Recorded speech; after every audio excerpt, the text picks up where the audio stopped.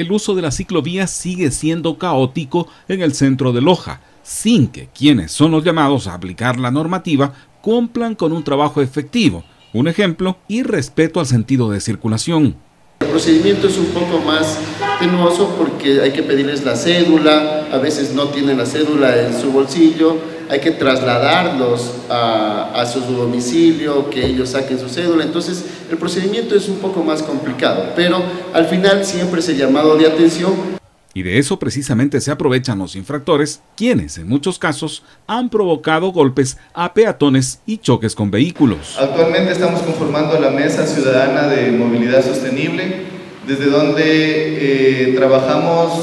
en reuniones eh, con, tanto con la UCOD, con el municipio y también con el Consejo de Participación Ciudadana. Como parte de la celebración del Día Mundial de la Bicicleta, el próximo 3 de junio se buscará acercamiento con las autoridades para hablar de estos y otros temas. El día lunes eh, es un día donde se va a, tener un foro con, el alcalde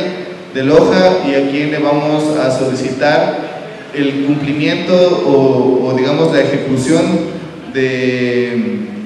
de una consultoría realizada ya por la GIZ para la ampliación de la red de ciclovías que va desde el Colegio Militar hasta la Universidad Nacional de Loja. El domingo 2 de junio habrá un ciclo paseo en el sector de Jipiro. Exactamente por donde está el tren, la salida a las 9 y 30 de la mañana el domingo